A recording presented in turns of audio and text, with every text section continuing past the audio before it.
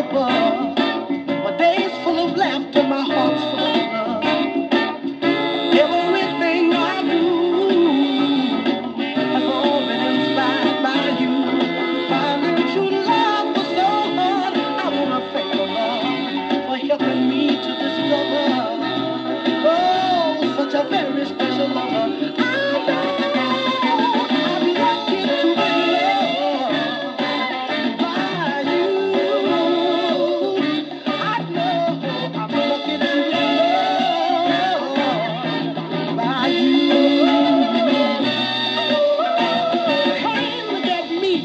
And here's what you see. A man who's been introduced to pure